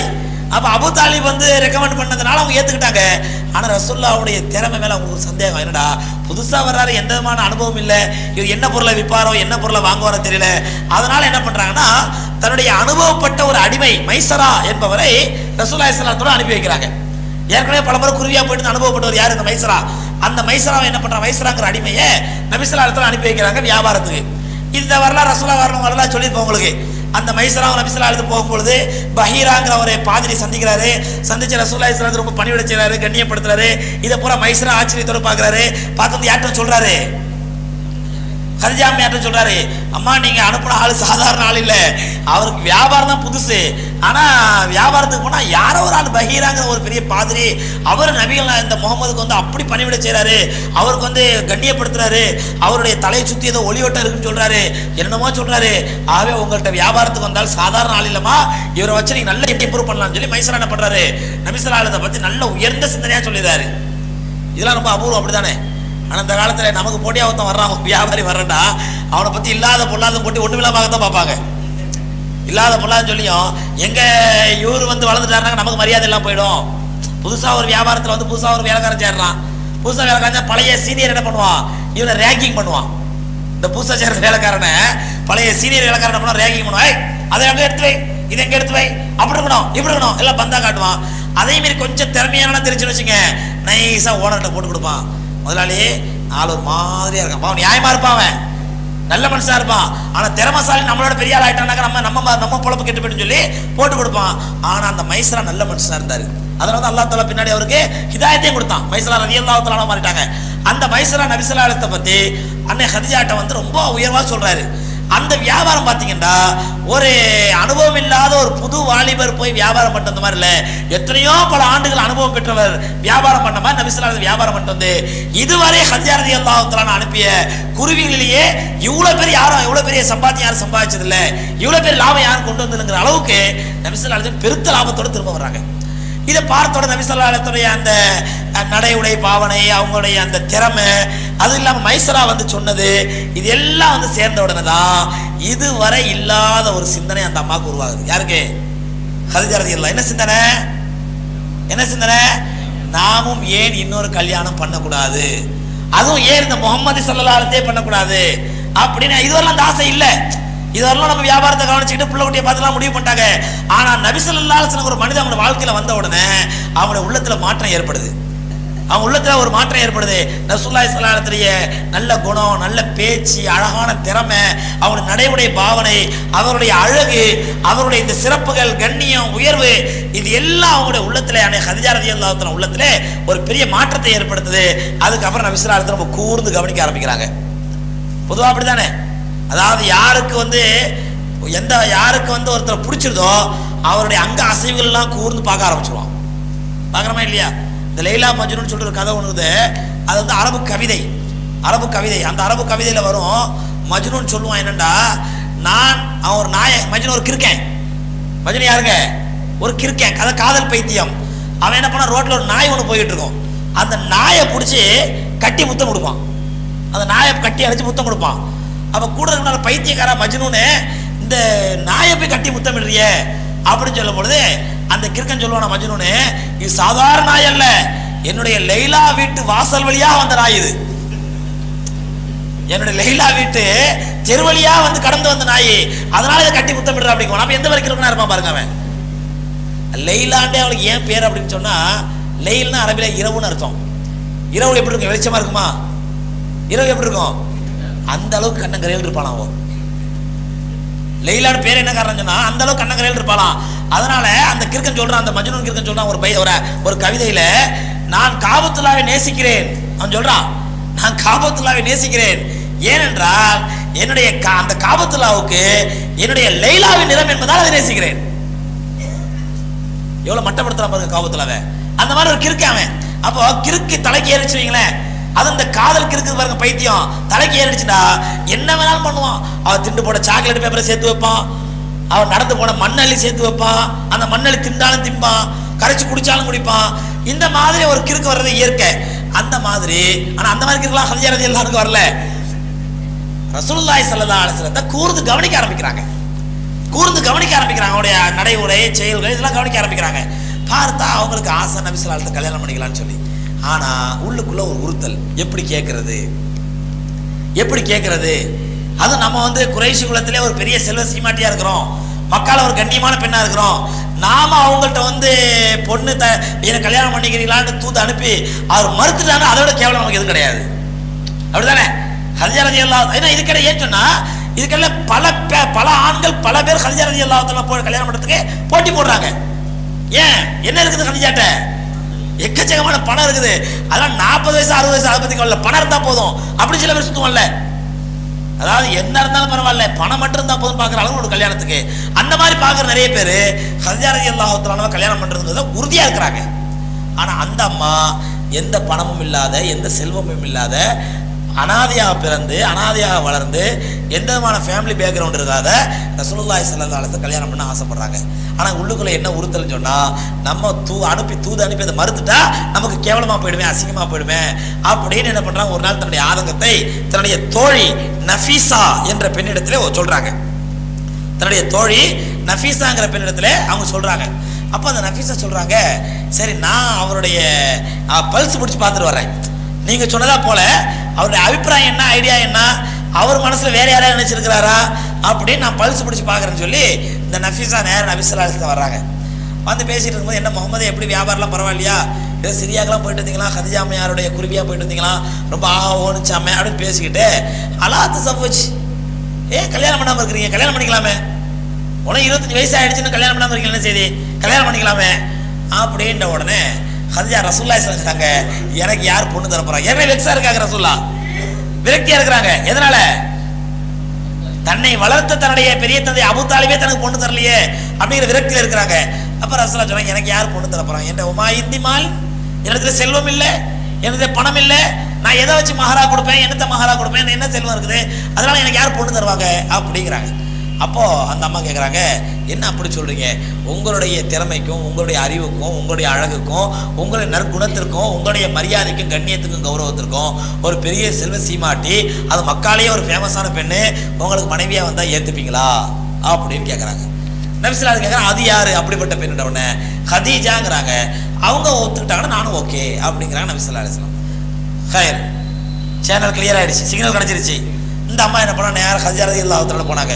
போய் நீங்கள் ரொம்ப யோசிக்கிற அளவுக்குலாம் ஒன்றும் இல்லை.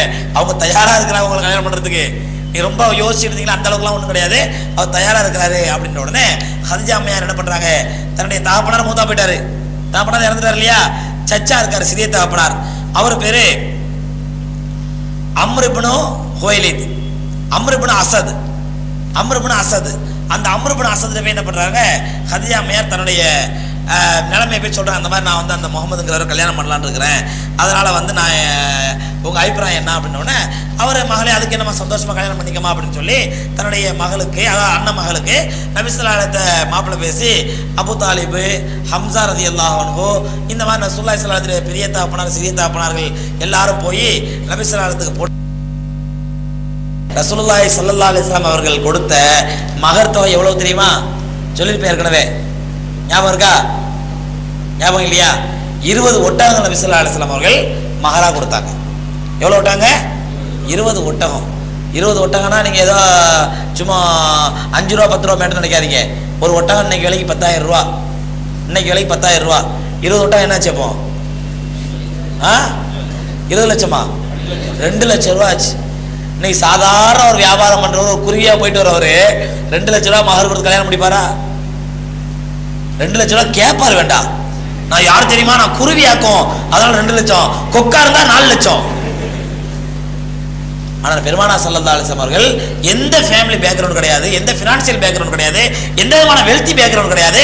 ஆனாலும் ரசூலுல்லாஹி ஸல்லல்லாஹு அலைஹி அவர்கள் அந்த நேரத்தில் இருபது ஒட்டகங்களை மகராக கொடுத்து கிட்டத்தட்ட ரெண்டு லட்சம் ரூபா மதிப்புள்ள அந்த மிருகங்களை மகராக கொடுத்து ரசூலுல்லாஹி ஸல்லல்லாஹு கல்யாணம் பண்ணாங்க. யாரும் ஹலிஜா ஹதிஜா ஹதிஜா ரதி அல்லாஹத்தர சுல்லா இஸ்லாத்துக்கும் வாழ்க்கையில நல்ல சந்தோஷமா சுமூகமா போய்கிட்டு இருக்குது பிறகு அப்போ ஹதிஜா ரதி தஆலாவுக்கு நாற்பது வயசு நபிசுல்லாத்துக்கு இருபத்தஞ்சு வயசு. இந்த நடுவில் சுமூகமாக போயிட்டு இருக்கும் பொழுது ரசூல்லா ஸல்லல்லாஹு ஹதிஜா ரதி குழந்தைகள் பிறக்கிறாங்க. முதல் குழந்தை காசிம் ரெண்டாவது குழந்தை ஜெய்னபு மூணாவது குழந்தை அப்துல்லா நாலாவது குழந்தை ருக்கையா அஞ்சாவது குழந்தை உம்மு ஆறாவது குழந்தை ஃபாத்திமா ரதி ஆறு குழந்தை பிறக்கிறாங்க ரசூல்லா இஸ்லாத்துக்கும் ஹதிஜா ரதி இல்லானுக்கும் முதல் குழந்தை யாரே? காசிம். காசிம் தான் நபி பிறந்த முதல் குழந்தை ஆம்பளை பிள்ளை.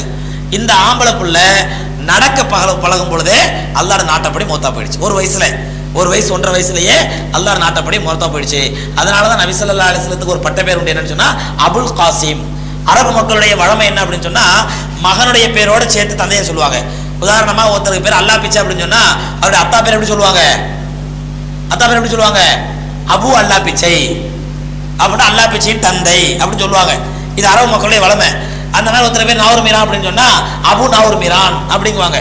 அந்த மாதிரி ரசூலுல்லாஹி இஸ்லாத்துடைய மகனுக்கு பேரு காசிம் அப்படிங்கிறதுனால நபி ஒரு பட்ட பேர் என்னதுங்க? அபுல் காசிம். அபுல் காசிம்க்கு நபி பட்ட பேர். அதனால தான் ரசூல்லா இஸ்லாம் முதல் குழந்தைய ஒன்றரை வயசுலேயே அவங்க வந்து இறந்துடுறாங்க. ரெண்டாவது பெண் குழந்தை ஜெயனபிரதி ரலியல்லாஹு இவங்களை பற்றி பத்தி உங்களுக்கு சொல்லியிருப்பேன் ரசூலுல்லாஹி வாழ்க்கை வரலாறுல.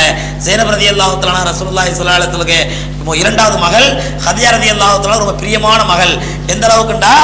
ஹதிஜா ரதி அல்லா ஜெயனப் ரதி அபுல் ஆஸ் என்பவருக்கு ரசூலா கல்யாணம் பண்ணி வைக்கும் பொழுது ஹதிஜா ரதி அல்லாஹுத்தலா தாய் வீட்டு சீதனமா தன்னுடைய ஒரு பெரிய தங்க மாலையை மகளுக்கு அன்பளிப்பா கொடுத்தாங்க.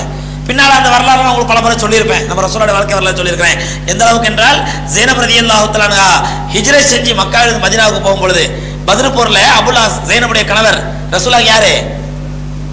நம்சலாத் யாரு? மச்சனே? மருமகனா? சரி. அந்த மருமகன் பதில் வராரு யார் சார்பா? எதிரிகள் சார்பா.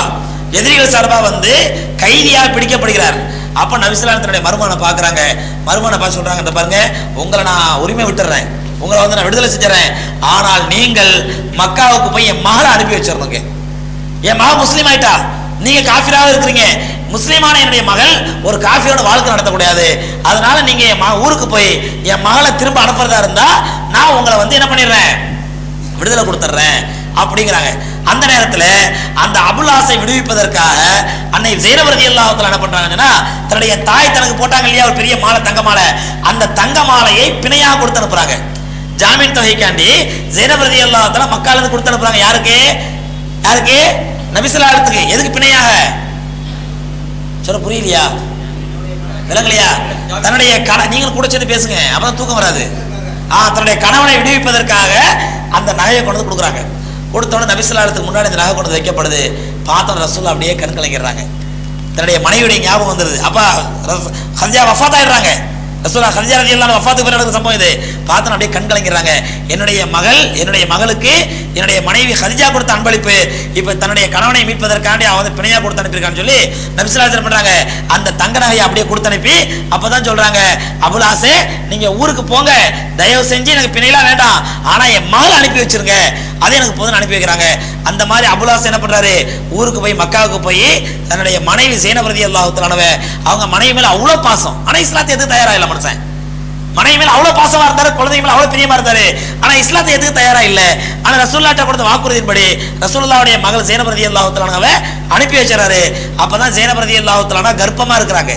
கர்ப்பமா இருக்கும் பொழுது மக்காவை விட்டு வெளியே வர்றாங்க. வெளியே வரும் பொழுது அபுஜகல் தலைமையில வந்த ஒரு கூட்டம். அபுஜா அபுஜா இல்ல அபு சுஃபியானுடைய தலைமையில வந்த ஒரு கூட்டம். அவங்கள மிரட்டுறாங்க. யார? ஜெயனபிரதி ரதி நீ போகக்கூடாது. போனா அவனுடைய கை குழந்தைய கொலை பண்ணிடுவோம் அப்படின்னு சொல்லி மிரட்டுறாங்க. அப்ப ஜெயனபிரதி அல்லாத்த கவலைப்படல. தைரியமா வரும் பொழுது அப்ப அந்த அபுல அபுசுப்பியானுடைய தலைமையில் தலைமையில அந்த கூட்டம் என்ன பண்றாங்கன்னு சொன்னா காஃபிரோடைய கூட்டம் ஜெயனபிரதி அல்லாத்துல ஏறி போறாங்க பாருங்க ஒட்டகம். அந்த ஒட்டகத்திலே காலை அப்படியே வெட்டிடுறாங்க. காலை வெட்டிடுறாங்க. வெட்டும் பொழுது ஜெயனபிரதி அல்லாஹத்துலானா அப்படியே ஒட்டகத்திலிருந்து புத்தர் கீழே விழுந்துறாங்க கீழே விழுந்த உடனே அவங்களுடைய கர்ப்பம் கலைஞ்சு ரத்தமா ஓடுது. அவனுடைய கர்ப்பம் கலைஞ்சு ரத்தமா ஓடுது. அப்பதான் ஜெனவரி எல்லாத்தனா ஒரு அரபி ஷார் படிக்கிறாங்க ஒரு கவிதை படிக்கிறாங்க. சுப்ப அலை நல் மசாயிபு லவ் அன்னகா சுப்ப அலல் லையா சுப்பத் நகாரி சிறுநல்லையாலியா எங்களுடைய ரசூலுல்லாவுடைய குடும்பத்தினராக எங்களுக்கு எவ்வளவு முசீபத்துகள் வந்தது என்றால் சுப்ப தலைநல் மசாயிபு எங்களுக்கு முசீபத்துகள் மழையாக கொட்டப்பட்டது எங்கள் மீது. முசீபத்துகள் கஷ்டங்கள் எங்களுக்கு மழையாக கொட்டப்பட்டது. எந்த அளவுக்கு என்றால் லவ் அன்னஹா சுப்பத்தாலன் நஹாரி சில்ற லயாலியா. இந்த பகல் வெளிச்சத்தின் மீது அந்த சூ அந்த முசீபத்தை கொட்டினால் இந்த பகலும் கூட அந்த முசீபத்தை தாங்க முடியாமல் இரவாக மாறிவிடும். சொல்றாங்க அவங்க. அவ்வளோ முசீபத்தில் கொட்டப்பட்டுச்சு அப்படின்னு சொல்லி அன்னை ஜெயினப் அல்லாஹுத்தலானா சொல்றாங்க. ஹயர் அப்போ அந்த அந்த ஜேனபிரதி அல்லாஹுத்தலானா ஹதியா ரதி அல்லானவங்க யாரு? ரெண்டாவது மகள். அதாவது முதல் மகள் ரெண்டாவது பிள்ளை. மூத்த பிள்ளை ஆம்பளை பிள்ளை காசிம் ரெண்டாவது ஜெயினப் ரதி அல்லாஹ் இப்படி ரசூல்லா இஸ்லாம் வாழ்க்கையில சந்தோஷமா போயிட்டு இருக்குது. மூணாவது குழந்தைய அப்துல்லாங்கிற பிறகுறாங்க அந்த அப்துல்லாவும் பிறந்து சில மாதங்கள்லயே அவங்களும் இறந்துடுறாங்க. அவங்களும் இறந்துடுறாங்க. அப்பதான் அபுலாபு சொல்றான் என்னன்னு சொன்னா முகமதுக்கு இனி ஆண் வாரிசே இல்லை. ரெண்டு ஆண் வாரிசு இறந்து பிறந்து ரெண்டுமே மூத்தா போச்சு. இனி அவருடைய மார்க்கம் அவர் சொல்ற கொள்கை உலகத்தில் நிலைச்சிருக்காது. அவருடைய மார்க்கம் உலகத்துல என்ன நிலைச்சிருக்காது. ஏன்னா பொதுவா ஒரு மனிதனுடைய கொள்கை யார் நிலைநாட்டமா அவருடைய வாரிசு நிலைநாட்டுவாங்க. அப்படித்தானே? வாரிசு தானே பேர் சொல்லுவாங்க. யாருனாக்கா இவருடைய வாரிசுகள். இன்னாருடைய வாரிசுகள் பேர் சொல்லுவாங்க. ஆனா முகமது சல்லாத்துக்கு ஆண் வாரிசே இல்லை. அதனால அவருடைய கொள்கையை யாரும் யார் உலகத்தில் நிலைநாட்ட முடியாது. அப்படின்னு சொல்லும் பொழுதுதான் அல்லா ரபுல் ஆலமி சுரத்தை இறங்கணும் ஆயத்திருக்கணும் என்னண்டு? இன்னா அத்தைனா கல் கௌசர் ஃபசல்லி ரப்பிக்க ஒன்ஹர் இன்ன ஷானியக்க ஹோல் அபுத்தர். நபியே உம்முடைய எதிரி இருக்கின்றானே. அவன் தான் ஆண் வாரிசு அற்றவன் நீங்க இல்லை. அவன் கொள்கை அழிஞ்சு போயிடும். உங்க கொள்கை உலகத்தில் நிலையாட்டுவதற்கு கோடானு கோடி கணக்கான மக்கள் வருவாங்க. அப்படின்றதுனால தான் ரசூலுல்லாஹி ஸல்லல்லாஹு சொன்னாங்க என்னுடைய கொள்கையை மக்களிடத்தில் பிரசங்கம் செய்யக்கூடிய மக்களிடத்தில் ஹக்கை எடுத்து சொல்லக்கூடிய மக்களிடத்தில் என்னுடைய கொள்கையை நிலைநாட்டக்கூடிய அல்லாவுடைய மார்க்கத்தை பயின்ற உலமாக்கள் வரசத்துல் அம்பியா நபிமாருடைய வாரிசுகள் அப்படின்றாங்க. என்னுடைய வாரிசு யாருன்னு சொன்னா என்னுடைய உலமாக்கள் தான். அவங்க தான் என்னுடைய கொள்கையை என்னுடைய வாரிசு நிலைநாட்டுவதை போன்று என்னுடைய கொள்கை நிலைநாட்டுவாங்க அப்படின்னு சொல்லி நபி சொன்னாங்க. ஹயர் அந்த அடிப்படையில் மூன்றாவது குழந்தை அப்துல்லா ரதி அல்லாஹுத்தலானவும் இறந்துடுறாங்க. நாலாவது குழந்தை ருக்கையா பொம்பளை பிள்ளை. நாலாவது ருக்கையா. அஞ்சாவது உம்மு குல்சும். ஆறாவது ஃபாத்திமா ரதி அல்லானுவா இந்த ருக்கையா ரதி அல்லாஹுத்தலானஹா தன்னுடைய தாய்க்கு முன்னாடியே அவங்க மூத்தாயிடுறாங்க. யாருக்கு முன்னாடி? தாய் யாரு? ஹதியா ரதி அல்லாஹுத்தலானாக்கு முன்னாடியே ருக்கையா வஃபாத் அதாவது உஸ்மான் ரதி அல்லாஹுத்தலான கல்யாணம் பண்ணி வைக்கிறாங்க. கல்யாணம் ஆகி கொஞ்ச நாள்லயே ருக்கையா வஃபாத் ஆயிடுறாங்க அதான் நபிசுல்லா பண்றாங்க? ரெண்டாவது ருக்கையாவுக்கு தன்னுடைய அடுத்த மகள் உம்மு குல்சுமே கல்யாணம் பண்ணி வச்சாங்க. உம்மு குல்சுமே கல்யாணம் பண்ணி வச்சாங்க. கல்யாணம் பண்ணி வச்சுட்டு சொன்னாங்க எனக்கு இன்னும் நூறு பெண் மக்கள் இருந்தால் அத்தனை பெண் மக்களையும் ஒன்றன் பின் ஒன்றாக யார் கல்யாணம் பண்ணி வைப்பேன்? உஸ்மான கல்யாணம் பண்ணி வைப்பாண்டாங்க அவ்வளவு சிலாய் சொன்னாங்க ரசூலுல்லாஹி ஸல்லல்லாஹு ஹைர் இப்படி ரசூலுல்லாஹி ஸல்லல்லாஹு ஆறு குழந்தைகள் பிறக்கிறது. யார் மூலமாக? ஹரிஜாரதி மூலமாக. எத்தனை ஆம்பளை பிள்ளை எத்தனை பொம்பளை பிள்ளைங்க? நாலு ஆம்பளை பிள்ளை ரெண்டு பொம்பளை பிள்ளை. இல்லையா?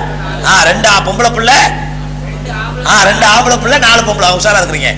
நாலு பொம்பளை பிள்ளை. நபிசலாலத்துக்கு ஸ்மூத்தா போய்கிட்டு இருக்குது அவங்க வாழ்க்கை சந்தோஷமா போய்கிட்டு இருக்குது. இந்த நேரத்தில் நாற்பது வயதை கடக்கும் பொழுது பெருமான சல்லல்லா அலிஸ்லாம் அவர்களுக்கு நாற்பது வயதை கடக்கும் பொழுது அவங்களுடைய வரலாறு அவங்க தெளிவாக சொல்லியிருக்கிறேன். அவங்களுக்குள்ள ஏதோ ஒரு மாற்றம் தெரியுது. அதிகமாக தனிமையை விரும்புகிறாங்க மனைவி மக்களோட சந்தோஷமாக இருந்த போக தனிமையாக இருக்கணும்னே ஆசைப்படுறாங்க. பிரைவசியை விரும்புகிறாங்க இப்படி விரும்பி விரும்பி என்ன பண்ணுறாங்க ஒரு கட்டத்தில் அவங்க ஹிரா மலைக்கு மேலே போய் தவம் இருக்க ஆரம்பிச்சிடறாங்க. ஹிரா மலைக்கு மேலே போய் என்ன பண்ணுறாங்க தவம் இருக்கிறாங்க. இப்படி ஒருத்தர் போயிட்டா அவங்க பொண்டாடி என்ன சொல்லுவா? என்ன சொல்லுவா? பே மனுஷன் நல்லா இருந்தார். என்ன கிறுக்கு பிடிச்சதோ தெரியல. திடீர்னு அல்லா அல்லான்னு அவர் வாரத்துக்கு புறப்பட்டு எங்கெல்லாம் விட்டு போயிட்டாரு. சரியத் கோர்ட்டில் கேஸ் வந்து நிற்கும் என் புருஷன் போயிட்டாரு அவரை மீட்டு தாங்க அவர் எங்க இருக்கா தேடி கொடுங்க அப்படின்னு சொல்லி. ஆனால் ஹதிஜா அம்மையார் பெருமானாருடைய உணர்வுகளை புரிந்து கொண்டு தான் ஒரு நல்ல மனைவிக்கு அழகு தன்னுடைய கணவனுடைய உணர்வுகளை புரிஞ்சுக்கிட்டு அவருக்கு வேண்டிய உதவி ஒத்தாசி பாருங்க. இதுதான் மனைவிக்கு அழகு அவங்களுக்கு அவங்களுக்கு தெரியல என்னண்டு? அவங்களுக்கும் தெரியல. நபிசுல்லாத்து ஏன் இப்படி ஒதுங்குறாங்க? ஏன் தனிமையில் இருக்கிறாங்க? ஏன் அடிக்கடி ஹிராமலையில போய் தவஞ்சிறாங்க அப்படின்னு அவங்களுக்கு புரியல. ஆனா ஒண்ணு மட்டும் உறுதியா தெரியுது. ரசூல்லாய் சல்லா அலிசலாம் தேர்ந்தெடுத்த பாதை தப்பான பாதை அல்ல. அது மட்டும் அவங்களுக்கு தெரியுது. ஏன்னா நபிசுல்லாத்து கேரக்டர் அந்த மாதிரி கேரக்டர் அவங்க. இவ்வளோ தன்னுடைய எனக்கு கிடைச்ச பெரிய பாக்கியமான இவ்வளவு தங்கமான புருஷன். அவங்க ஒருபோதும் தப்பான பாதையில் போக மாட்டாங்க. அவங்க ஏதோ ஒரு நல்ல பாதையில் போறாங்க. ஆனால் என்னன்னு எனக்கு தெரியல. அப்படின்னு விளங்கிக்கிட்டு அந்த ஹிரா குகையில ரசூல்லாய் சல்லா அலைஹி நாற்பது வயதுங்கும் பொழுது அன்னை ஹதிஜாக்கு எத்தனை வயசுங்க? கிட்டத்தட்ட ஐம்பத்தஞ்சு ஐம்பத்தாறு வயசு. அந்த நேரத்தில் சகோதரிகளே தாய்மார்களே அந்த ஹிரா மலை இப்போவும் ஆஜிகள் போனால் பார்த்துருக்கலாம். அங்கே ஏற முடியாது நம்மளால். ஏற முடியாது. நிறைய பேர் ஏறுவாங்க சிரமப்பட்டு ஏறுவாங்க. சில பேர் பாதிரி ஏற்ற அப்பா நம்மளால் முடியல பண்ண இறங்கிடுவாங்க. அந்த லிஸ்ட்டில் நானும் ஒருத்தன். கொஞ்சம் தூரம் ஏறிட்டு முடியலன்னு இறங்கிட்டோம். அவ அன்னைக்கு அப்படியே கரடு முரடா அப்படியே தான் வச்சிருக்காங்க. பாதை ரோடுகள்லாம் போடல. இன்னைக்கு அந்த காலத்துல ரசூல்லா சில காலத்து இந்த மாதிரி அப்படியே கரடு முரடு தான் இருக்குது. அந்த கரடு முரடு பாதையில அன்னை ஹதிஜா ரதி அல்லாஹுத்தலானஹா தன்னுடைய கணவனுக்கு சாப்பாடு தூக்கிட்டு போவாங்களாம். எத்தனை வயசுலங்க? ஐம்பத்தாறு வயசுல. ஐம்பத்தாறு வயசு பெண்மணி தன்னுடைய கணவனுக்கு அந்த கரடுபுரடான பாதைக்கு மேல சாப்பாடு எடுத்துட்டு போய் கொடுத்துட்டு வருவாங்களாம். ஏன்? கணவன் பட்னி அங்க தவம் இருக்கிறாங்க. அப்படி இருக்கக்கூடாதுங்கிறதுக்காண்டி இந்த செல்வ சீமாட்டி அம்மா இவங்க நினைச்சா என்ன பண்ணுவாங்க? வேலை காட்டு கொடுத்து அனுப்பலாம். ஒரு அடிமை பெண்ணை கொடுத்து அனுப்பலாம். ஒரு அடிமையை கொடுத்து அனுப்பலாம். ஆனால் தன்னுடைய கணவனுக்கு பணிவிடை செய்வதை மிகப்பெரிய பாக்கியமா நினைச்சாங்க அந்த அம்மா.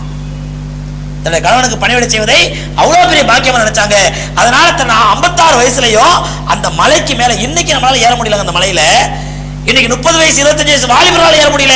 ஆனா ஐம்பத்தாறு வயசு மூதாட்டி அந்த மலைக்கு மேல ஏறி போய் கொண்டு போய் சாப்பாடு கொடுத்துட்டு வருவாங்க. இப்படி இருக்கும் பொழுது ரசூலுல்லாஹி ஸல்லல்லாஹு வகி வருது. அந்த சம்பவங்களாம் உங்களுக்கு சொல்லியிருப்பேன். வரலாறு சொல்லுடைய வாழ்க்கை வரலாறுல. நபி ஸல்லல்லாஹு அலைஹி ஜிப்ரீல் அலைஹிஸ்ஸலாம் வர்றாங்க. வந்து இக்ரா ஓதுங்கள் அப்படிங்கிறாங்க. நபி ஸல்லல்லாஹு அலைஹி சொல்றாங்க உமா நபி காரியன். எனக்கு ஓத தெரியாது. எனக்கு படிக்க தெரியாது. நான் என்னத்தை ஓதுறது அப்படிங்கிறாங்க. மூணு முறை சொல்றாங்க ஓதுங்க ஓதுங்கண்டு ரசூலா மூணு முறை என்னால ஓத முடியாது ஓதுங்க மறுக்கிறாங்க. கடைசியில் ஜிப்ரீல் அலைஹிஸ்ஸலாத்து வஸலாம் ரசூலை கட்டி அணைச்சு அப்படி இருக்கிறாங்க. அந்த நேரத்தில் சொல்லிட்டு சொல்றாங்க இக்ரா பிஸ்மி ரப்பிக்கல் லதீ ஹலக் ஹலக்கல் இன்சான அந்த இக்ரா சுறா ஓதி காட்டுறாங்க. நபிசலாலத்துக்கு ஒன்றுமே புரியல. யார் இது? எவர்? எங்கேருந்து வந்தார்? யார் வந்தார்? எதுக்கு இப்படி நம்மளை கட்டி பிடிச்சாரு? ஒன்றுமே தெரியல. மலையிலேருந்து அப்படியே அடிச்சு பிறண்டு ஓடியாடுறாங்க. யார்கிட்ட ஓடியாடுறாங்க? அந்த கஷ்டமான நேரத்தில் சிரமமான நேரத்தில் தனக்கு அடைக்கலம் தருவதா ரசூலை யார் நினைச்சாங்க? தன்னுடைய மனைவியை தான் நினைச்சாங்க. நேரம் ஓடி வந்தாங்க. ஏன்னா அந்த அம்மா அவ்வளோ தங்கமானவங்க. அப்படி பணிவிட செஞ்சாங்க. இந்த கஷ்டமான இடத்துல தனக்கு ஆறுதல் சொல்லக்கூடிய ஒரே ஜீவன் தன்னுடைய மனைவியாக தான் இருக்குன்னு சொல்லி நபிசுல்லா நேரம் ஓடி வந்தாங்க ஹதியா ரதி அல்லா வந்து சொன்னாங்க ஜம்மிலுனி ஜம்மிலுனி எனக்கு குளிர் ஜுரம் வந்துருச்சு போர்வை எடுத்து போத்துங்க போர்வை எடுத்து போத்துங்கன்றாங்க. அந்த அம்மா உடனே அவசரமாக போர்வை எடுத்து போத்துட்டு அவங்கள ரசூல்லா இஸ்லாத்தை சசோதப்படுத்தி அவங்க சமாதானப்படுத்தி என்னாச்சுன்னு சொல்லுங்க சொல்லுங்க நிதானமாக இருங்க நிதானமாக இருங்க. கூல் டவுன் கூல் டவுன் அவங்களை அமைதிப்படுத்துறாங்க நபிசுல்லா சொல்லிட்டு சொல்கிறாங்க ரசூல்லா சொல்கிறாங்க எனக்கு ஏதோ பேய் பிடிச்சிருச்சு. எனக்கு என்னன்னு தெரியல நபிசுல்லாத்துக்கு அது ஒரு வகி வரல. நபீனா நுபூத்தனா என்னன்னு தெரியல. குரான் என்னன்னு தெரியாது. அந்த குரான் இறங்கிய வேகம் அவங்களால தாக்கு பிடிக்க முடியல. எனக்கு எதோ நடக்க போகுது. நான் அழிய போறேன். எனக்கு எதோ நடக்க போகுது. எனக்கு ஏதோ நோய் வந்துருச்சு. எனக்கு என்னாச்சுன்னு தெரியல. நபிசுல்லா துடிக்கிறாங்க. அந்த நேரத்தில் அன்னை ஹதியா எல்லாத்தின அல்லாஹ் செஞ்ச ஹிதுமத் பணிவிடை ஆறுதல் படித்து ரசூலாய் சிலாலத்தை ஆறுதல் படி சொல்றாங்க கல்லா அப்படி இல்லை. நீங்க சொல்ற மாதிரி இல்லை. அல்லாஹ் உங்களை அழிக்க மாட்டான். அல்லாஹ் உங்களுக்கு கஷ்டத்தை கொடுக்க மாட்டான். அல்லாஹ் சிரமத்தை கொடுக்க மாட்டான். நீங்க யாருக்கு என்ன தீங்கு செஞ்சீங்க அல்லாஹ் உங்களுக்கு கஷ்டத்தை கொடுக்கறதுக்கு? நீங்க யாரை குடும்பப்படுத்துறீங்க அல்லாஹ் உங்களுக்கு கஷ்டத்தை கொடுக்கறதுக்கு? நீ யார சிரமத்துக்கு ஆளாக்குறீங்க அல்லாஹ் உங்களுக்கு கஷ்டத்தை கொடுக்கறதுக்கு? அப்படின்னு சொல்லி அந்த அம்மா என்ன பண்றாங்க? நபிசுல்லாத்தை ஆறுதல் படுத்துறாங்க சொல்றாங்க பாருங்க கல்லா புகாரியோட அதிசா வருது வல்லாய் மா யுஹசி கல்லாஹ் அபதா. அல்லாஹ் ஒருபோதும் உங்களுக்கு தீங்கு நினைக்க மாட்டான். ஒருபோதும் அல்லாஹ் ஒரு நஷ்டத்தை ஏற்படுத்த மாட்டான். ஏனென்றால் இன்னக்கல தசில் ரஹ்ம நீங்கள் உறவினர்களை சேர்ந்து வாழ்கிறீர்கள். ஒரு தஹமீல் கல்ல ஆதரவற்றவர்களுக்கு ஆதரவு அளிக்கிறீர்கள். ஒரு தக்சிபுல் மாதூப இல்லாதவர்களுக்கு உதவி செய்கிறீர்கள். ஒரு துக்கரையுல் லைஃப விருந்தினர்களை நீங்கள் உ- உபசரிக்கிறீர்கள் கண்ணியப்படுத்துகிறீர்கள். எவ்வளோ நல்ல குணம் இருக்கும் பொழுது அந்த அத்தனை பேருடைய துவா உங்களை வீணாக்கிடுமா? ஒரு மனைவி தன்னுடைய கணவனுக்கு எப்படி ஆறுதல் சொன்னாங்க பாருங்க. நம்ம காலத்து பெண்கள் அந்த எல்லா தாய்மாரும் சொல்றாங்க. தாய்மார் கோச்சுக்கு போறாங்க. ஒரு சில வீடுகளில் பே மனுஷன் எங்க போய் உட்காந்து என்ன பேய இழுத்துட்டு வந்தாரு தெரியல. நல்லா இருந்த மனுஷன். இப்படி பே- ஜமீலுடைய ஜமீல் நிற்கிறாரு எனக்கு போர்வையை போத்து போர்வையை போத்துக்கிட்டு யோசிச்சு வச்சு காரடிக்கு எனக்கு கா- கேடு கட்ட காலத்துல மூத்தாறு காலத்துல இந்த ஆளை வச்சு மாரடிக்கணுமா? அப்படின்னு மேலும் மேலும் வேதனை ஏற்படுத்தாம அந்த அம்மா என்ன பண்ணாங்க? ஆறுதல் சொன்னாங்க. நிச்சயமா அல்லா உங்களுக்கு தீங்கிழிக்க மாட்டான். உங்களுக்கு கஷ்டத்தை ஏற்படுத்த மாட்டான். கவலைப்படுத்தாதீங்க. கவலைப்படாதீங்க. நிம்மதியா இருங்கன்னு சொல்லி ஆறுதல் படுத்திய பிறகு அதுக்கப்புறம் ஹதியாரதி எல்லாம் என்ன பண்றாங்க? நபிசுல்லா கொஞ்சம் ஆறுதலான பிறகு தன்னுடைய சிறிய தகப்பனார் மகன் யாரு? யாருங்க? வரக்கா. யாருக்கு? பொண்ணு பேசுனாங்கல்ல முதல்ல. பேசி கல்யாணம் நினைச்சு பாருங்க. அவர் இப்ப பெரிய பாதிரியா இருக்காரு. சாமியார் ஆயிட்டாரு. ஹஜாரதி நான் கிடைக்கலங்கிற வருத்தத்திலே என்னவோ தெரியல. இப்ப சாமியாராய் பாதிரியா இருக்காரு ஏற்கனவே ஒரு ஆன்மீக ஈடுபாடு உள்ளவர். இப்ப பெரிய சாமியாரா பெரிய பாதிரியாரா நல்ல மார்க்கம் தெரிஞ்சதா இருக்காரு. அவர்கிட்ட இந்த அம்மா கூட்டு போறாங்க. அவங்களுக்கு தெரிஞ்ச ஒரே ஆன்மீகவாதி அவர் தான் அவங்கள்ட்ட கூட்டு போறாங்க. இந்த மாதிரி ஏதோ ஆயிடுச்சுங்கிறாங்க. என்னன்னு பாருங்க அப்படின்னு சொல்லி. அப்போ வரக்கா என்ன பண்றாரு? ஃபுல்லா என்ன நடந்துச்சுங்கிற எல்லா விவரத்தையும் கேட்டுட்டு சொல்றாரு. ஹாதன் நாஃபு சல்லதி அதா அதன் நபி அதல் அன்பியா அபின் கபுல். அவர் யார் என்றால் இதற்கு முன்னால் எல்லா நபிமார்களுக்கும் வேதங்களை கொண்டு வந்து கொடுத்த ஜிப்ரீல் தான் உங்களிடத்தில் வந்திருக்கிறார் அப்படின்னு சொல்லி அந்த பரக்கா என்ன பண்ணுறார் நபிசுல்லாத்துக்கு நடந்த சம்பவத்தை சொல்றாரு. ஜிப்ரில் என்ன பண்ணுவார்? ஏது பண்ணுவார்? இப்படி இப்படிலாம் நீங்கள் வந்து உங்களுக்கு வந்து சிரமங்கள் வரும் கஷ்டங்கள் வரும் நீங்கள் அல்லாடைய மார்க்கத்தை எடுத்து சொல்லணும் தைரியமாக சொல்லணும் அப்படின்னு அவங்க ரசூலாசிரத்தை உற்சாகப்படுத்துறாரு. உற்சாகப்படுத்தும் போது சொல்கிறார் ஒரு வகையில் ஒரு காலம் வரும் அந்த காலத்தில் இந்த மக்கள் எந்த மக்கள் உங்களை சாதிக்கல் அமீன் என்று போட்டுகிறார்களோ இவர் வியாபாரத்தில் நேர்மையானவர். பேச்சில நேர்மையானவர் நாவிலே நாணயமானவர் அப்படின்னு சொல்லி உங்களை போற்றுகின்றார்களே இந்த மக்களே உங்களை ஊரை விட்டு துரத்துவார்கள். யார் சொல்றா? வரக்கா சொல்றாரு. அப்ப நபிசுலாஜன் கேட்குறாங்க அவன் முகர்ஜியனி என்ன என்னையா வெளியேற்றுவார்கள்? இந்த மக்களா என்னை துரத்துவார்கள்? அப்படிங்கும்போது வரக்கா சொல்றாரு அப்படி உம்மை துரத்தும் பொழுது நீ ஏகத்துவ சத்திய பிரச்சாரத்தை சொன்னதற்காக உண்மை அவர்கள் துரத்தும் பொழுது நான் உயிரோடு இருந்தால் இன்ஷா அல்லாஹ் உம்மோடு சேர்ந்து நானும் இந்த ஊரை விட்டு வெளியேறுவேன். உங்களுக்கு உதவியா நானும் வெளியேறுவேன் அப்படிங்கிறாரு. ஆனா கொஞ்ச நாளே அவர் மூத்தா போயிடுறாரு கயிர். இப்படி அன்னை ஹதிஜா ரதி அல்லாஹு ரசூலுல்லாஹி ஸல்லல்லாஹு